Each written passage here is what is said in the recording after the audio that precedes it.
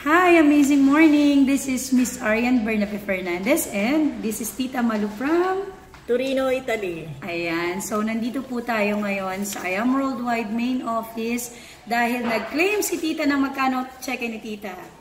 Ayan, 70,000 pesos. Grabe.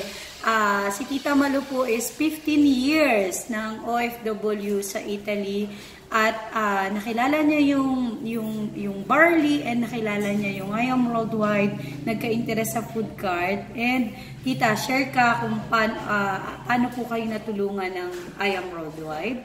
And syempre, paano kayo natulungan ng team uh, Winning Torino. Okay? Unang-una, ako ay na-invite sa ni Sister Roxanne sa IM ang interest ko muna ay food card pero napunta sa Pure Valley. Una, gumamit ako kasi sa edad kong ito, marami na rin ako nararamdaman. Masakit ang baywang, masakit ang ganito. Pero napakagaling ng barley. Sa ngayon, hanggang ngayon, gumagamit kami.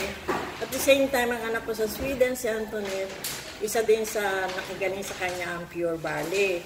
Na ngayon din, kumikilos na din ang Pure Barley. Nakikilala na din mo sa Sweden. Wow, ang kagalingan ng Sweden ng ating produkto, bago tayo mag-endorse natin product, kailangan kilala natin ang ating product. So, Paano natin may pupusto sa ating kliyente kung hindi sa ating mismong katawan na sasabihin natin, napakagaling ng product na ito. Wag tayong manatili sa atin na maging kuripot sa ating sarili. Tama eh. Dahil kung hindi tayo malakas, hindi talak palagi tayo may sakit. Hindi tayo makakatrabaho. Tayo, pa, paano tayo mag-earn ng euro?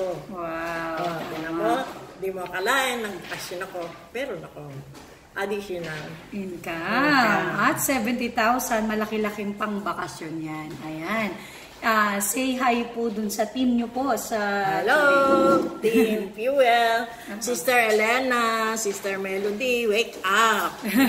At ang Sweden oh, yan. ay ating buhayin para tayo pare-pareho masaya, para-pareho tayong lumakas ng katawan, yes. para-pareho tayo Pagina, true Jesus. Yes. Ating Panginoon. Amen. Number one. Yes. Okay. Ayan. Eh, si Tita lang po is isa sa naging instrument uh, para po ma-share din po yung I Am Worldwide and syempre yung hope, yung health, opportunity, and prosperity to everyone.